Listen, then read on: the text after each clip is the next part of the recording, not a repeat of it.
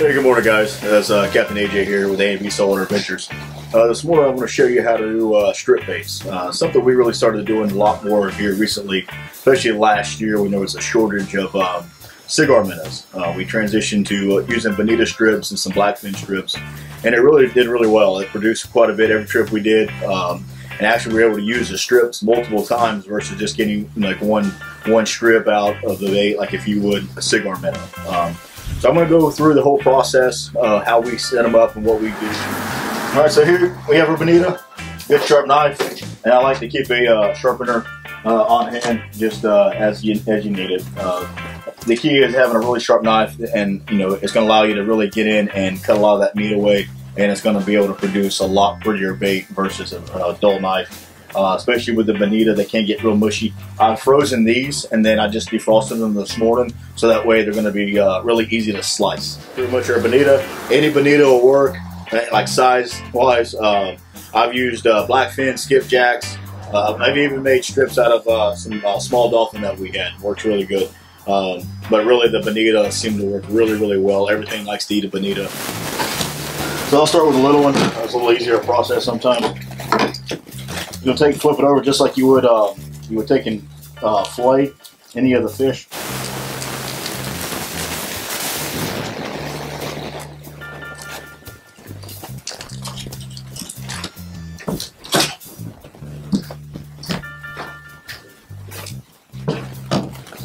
I'm not worried about the meat. Honestly, I don't, I don't really want the meat. You could use it for chum or something like that. We've done that a lot.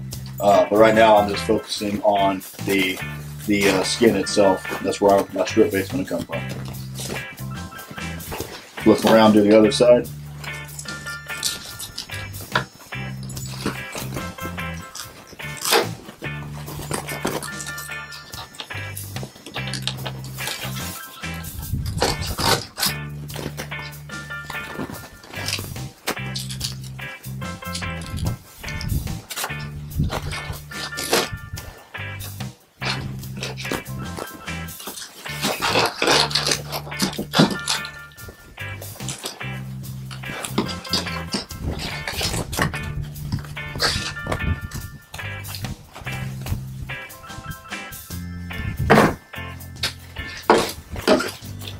Here, I'm just gonna go ahead and start uh, taking away the meat and trying to get down to the skin. Uh, it's kind of a, um, a, slow process. You don't want to do it all at one time because you could nick the skin. And once you nick the skin, then you know essentially that bait's going to be ruined, and you're going to want to cut that piece away, uh, that section away there.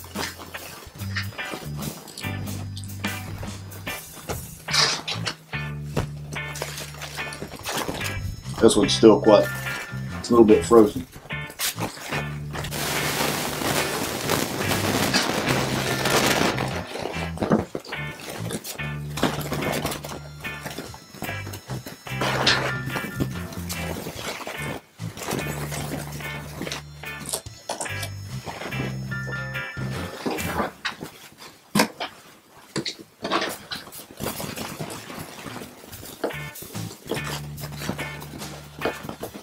Working that meat, just kind of slowly uh, slicing it off, trying to uh, be as gentle as I can. This fish is still pretty frozen, which is good, but it also makes it a little difficult to uh, cut through since he's uh, not completely or semi thawed out.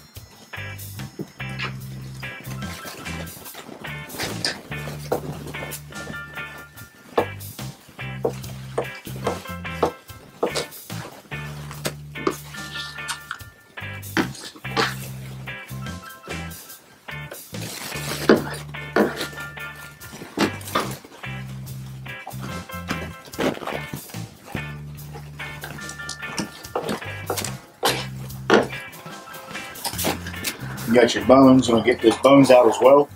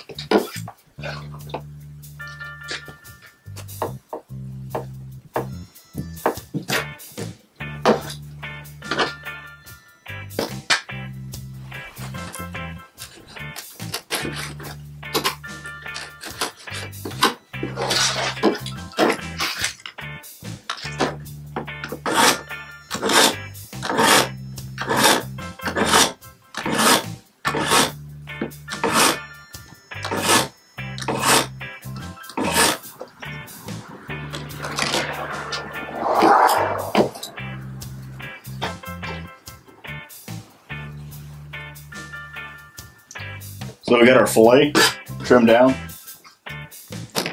to where we have just a little bit of meat left, which is it's fine because I want to take and brine this, and I want a little bit little meat on there to keep it uh, firm and, and, give it that really good flap. If it's just if it's just skin, then uh, it won't hold up and, and last as long, especially when you brine it.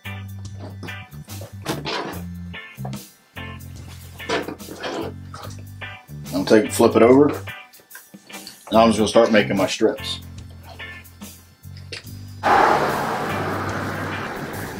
You're looking for that, that uh, spade shape. You gotta mimic that tail. And then we'll trim this up. We'll clean this up here on the side.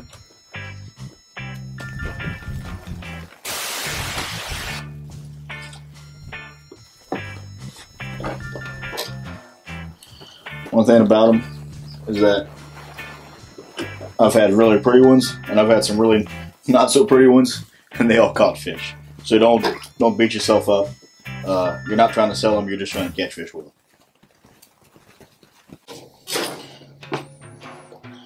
I'll take a little bit of the meat as I go. If I see you know a little bit little bit pieces of meat that are kind of sticking up, where it's going to kind of bulge out, and that's going to affect the way the bait swims. So I'm just going to continue to refine and clean up as I go.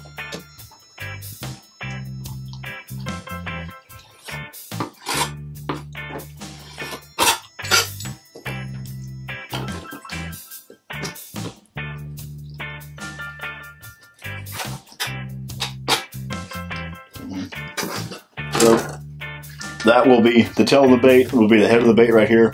I'll, uh, I'll show you our rigs in here in just a little while and uh, how we run that. But pretty much that is it. Um, after you take and brine that, it's going to harden up a little bit and uh, give you really good action. Uh, you can make them longer. Typically, this is about what we're looking for. This size, you know, kind of a medium bait, uh, almost the size of a medium ballyhoo.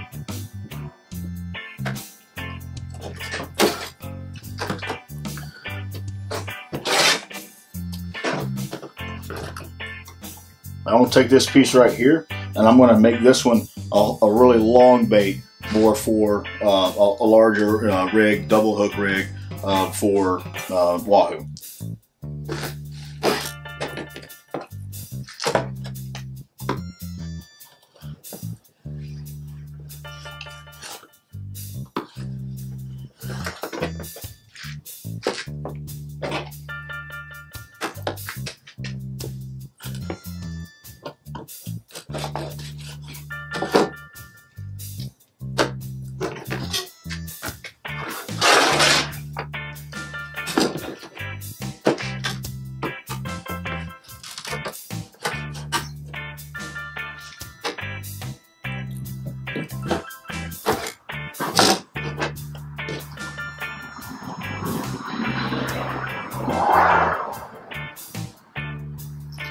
That's a real pretty bait right there. I leave a little bit of a um, kind of a point on this end because when I screwed and I put my pin through it and I screw down my uh, spring, that's going to really bite down and give it that uh, that uh, bite on it, and it's going to hold that bait in there as it swims. And you can come right in here and kind of trim the corners up so that way it uh, swims a little bit better. But reality of it, this is going to get pushed down and it's going to be um, covered by the uh, either an Islander or a sea small lure or you know a sea witch or something like that. So it doesn't really matter if it's not trimmed perfect because no matter what, this is the action that you're looking for in the water, and then this is what the, the fish are going to hit and uh, really give you that strike that you're looking for.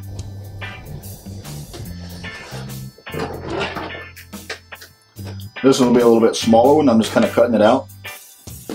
And, you know, using using the baits, all the bait that I have. Try not to waste any of it. Making you know some might be longer, some might be long, uh, shorter, but that that still be a perfect bait right there to throw, especially throw on a single um, pin rig. So that's pretty much one side of uh, a typically small bonita. Uh, so I've got one, two, three, four, five strips out of that. Looking at maybe getting five or six out of the other one. Um, and a lot of these strips will last you at least one to maybe three fish. And the good thing is, is if you don't use them, you can put them right back in the freezer.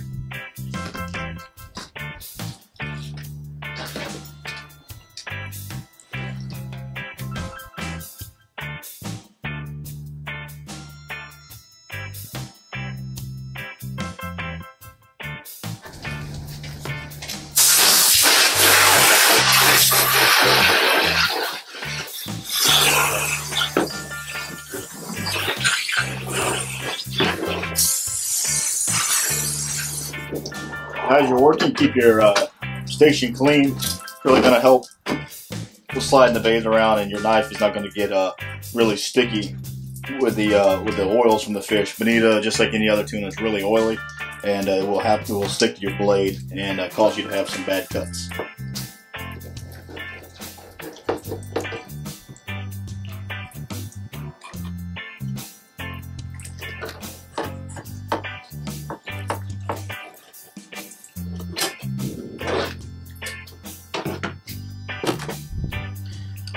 Look at this side and see where I really want to pull my strip from because I really like having these black strips and then, then that combination in between. That's just really pretty right there. Um, most of the, the pelagic fish that we're hunting, the wahoo, uh, especially the big kings and even the, uh, the big mahi, they're eating um, bonita.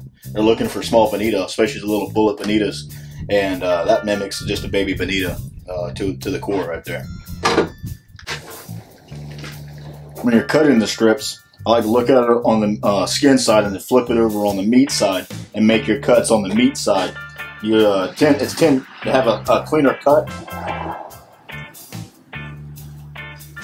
You're really pushing that skin up against the uh, cutting board, and it's allowing you to get a really good firm cut um, all the way through.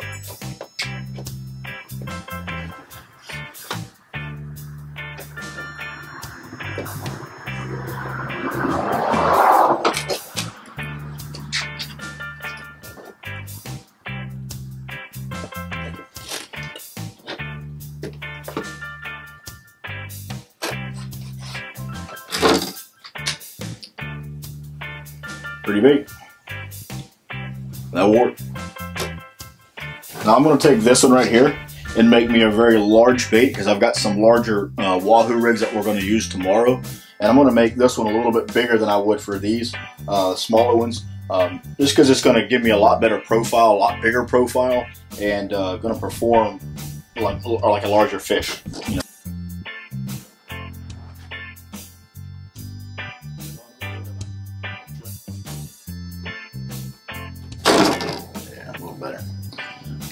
much better.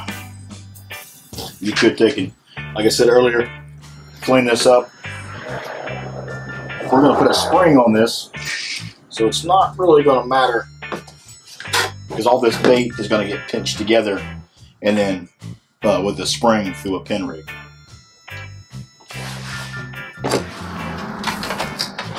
So here's two of the rigs that I, I made up last night. Uh, See You Smile rigs uh, with some mylar. Uh, great, great, uh, great rigs to use. All right, so to go over our baits, um, this is a See You Smile rig. I rigged it with a 100 pound leader, crimped it off with a swivel, uh, so that way if the bait uh, like um, uh, spins in the water, it's not going to kink up and it's not going to it's going to allow that bait to swim naturally. Uh, we rigged this one with a double rig, uh, two um, 8 hooks, set it up with a pin style um, connection with a spring. And the spring is going to slide down and go over the uh, tip of the bait or top of the bait and screw into the uh, wire itself. I rigged this with, with a stiff uh, little bit of wire right here. It's still flexible. It's still going to be able to move, uh, you know, fight the fish. It's not going to be too stiff. But what's going to happen is it's going to allow it to be stiff and then allow that, that um, tip of that bait to swim. All right, so I'm to slide the, uh, the lure itself up.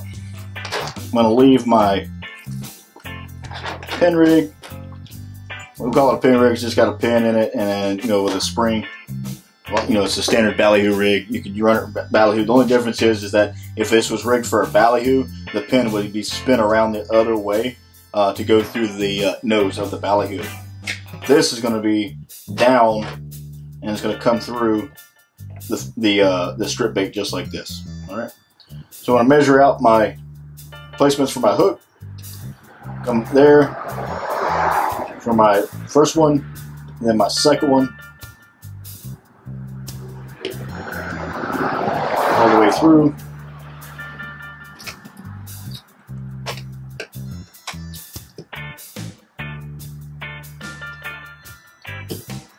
And then I'm gonna push the pin all the way through.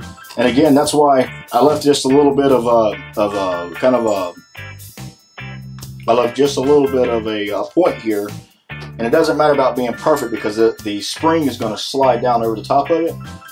And then it's going to secure the bait so that way it doesn't come off.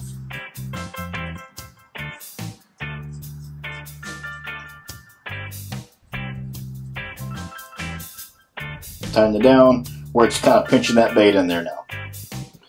All right, slide my lure over the top. She is pretty. I would definitely eat that if I was a fish.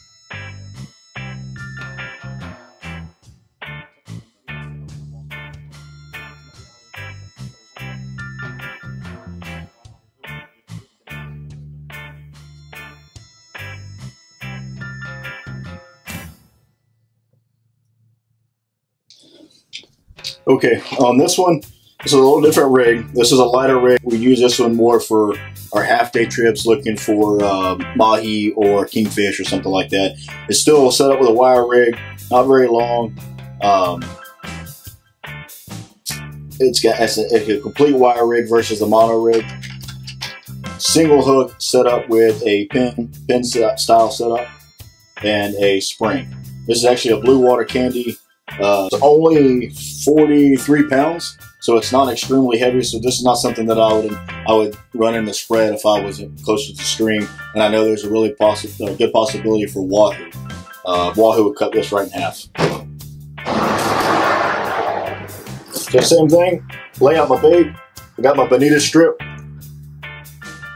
Take and lay it down figure out where my pin is going to go, and then where the hook placement is going to come out, looking at where the J is on my hook, and I'm going to slide it right through, all the way out, down into the base of the J, tighten the, uh, the skin up, or the, uh, the strip itself. That way it's nice and uh, straight. Doesn't have any uh, twist in it. Run my spring down around the pin. Tighten it all the way up. Again, I'm trying to bite down on the meat here, so where the meat is uh, secure to the wire itself. And that's going to prevent it from slipping.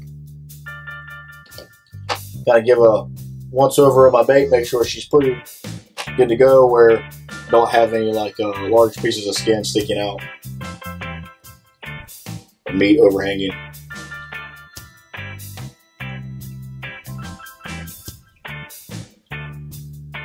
Works great for kings, mahi, pretty much anything on, on we would run on a half day trip that we're going to be uh, chasing. This bait right here We'll get it done. It's not as long as the baits that we did earlier, um, so that way that's why I only have one hook, a single hook. The last thing we need to do is preserve our bait for uh, the trip offshore. Whether you're going to use this uh, tomorrow or a week from now or, or even longer, uh, as long as you keep it uh, clean and healthy, meaning where it's not going to, it's always going to be cold, either in the refrigerator or a freezer. Uh, it's going to last you for a long time. You can freeze the bait, thaw it out, and, and actually freeze it and thaw it out a couple times. if You don't uh, don't actually use it, and it'll be okay. One of the things that's going to make it last longer is kind of brine. That brine here works, it works great. It's easily get it into the uh, local uh, shop. And I'm going to take it, I'm going to apply that brine to both sides of the bait.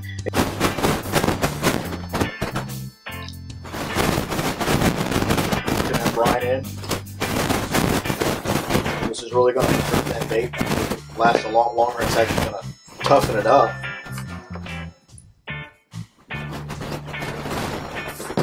It's going to toughen it up and overall cure it, make it longer, last longer.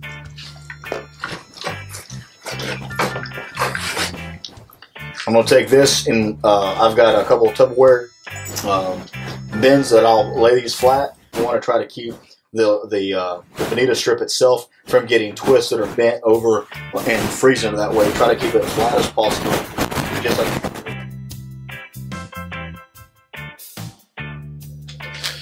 All right. Well, now that I have my uh, my strip bait's already uh, prepped and some of them already rigged. This is the uh, container that I put them in. It's nothing more than an old uh, uh bait tray. This is actually uh, Cabela's bag that I used to have. Uh, wore it out and uh, I just kind of use it as, a, as a freezer box. I can fold this up, put it in the freezer and use it and basically put this on top of the cooler on the ice, time you get, you know, to where you're going to be fishing, it'll be defrosted enough to where you can deploy one of the baits, and it works really well. When you get back home, you just take in whatever bait you didn't use, snap back together, put it back in the uh, freezer, and you're good to go. All right, there you have it. Uh, final product, we have our strip bait, our stripped uh, bonita. Again, you can make it with multiple different uh, species of fish. Um, bonita, skipjacks, blackfins work well. Like I said in the previously, the uh, strip will work as well. But uh, for overall, your bonita is probably one of the best um, just so easy to come across and everything a bonita. We run these on a planer rod or, or to run them on a uh, outrigger or right behind. Don't like run these on a shotgun. Sometimes your small cubes or something like that or, or schoolie dolphin will come up and chew, cut the back of it off right below the hook and miss it you should still probably possibly get a hookup with it, but it's not effective as if it had the whole full strip or just like getting the you know getting the ballyhoo cut off. Uh, so I won't run this on the shotgun, especially if it's two three hundred feet back.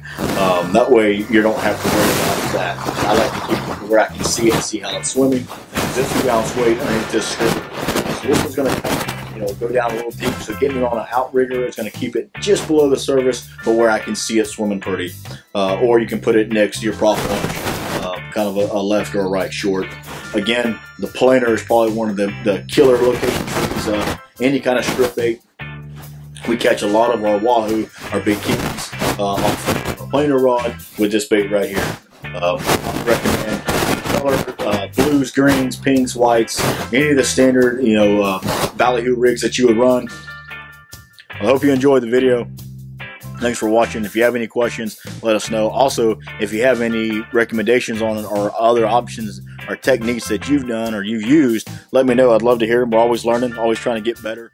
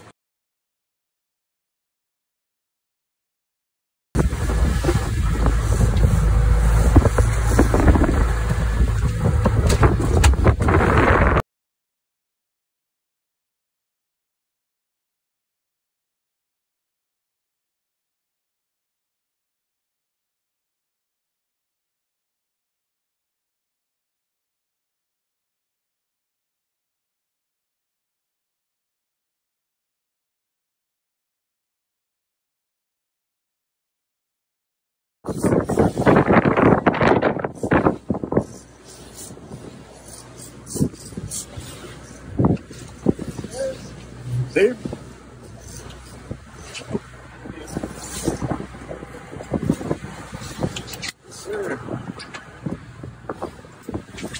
Nice done, Jeff.